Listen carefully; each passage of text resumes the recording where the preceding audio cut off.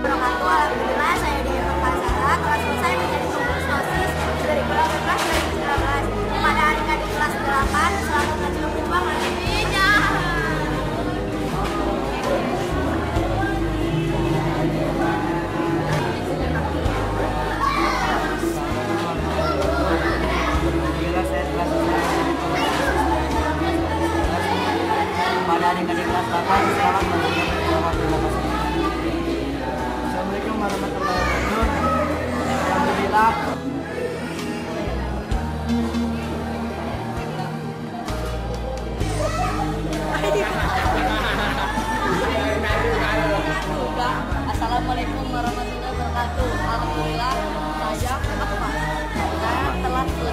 Menjadi pengurus OSIS 2018 kelas.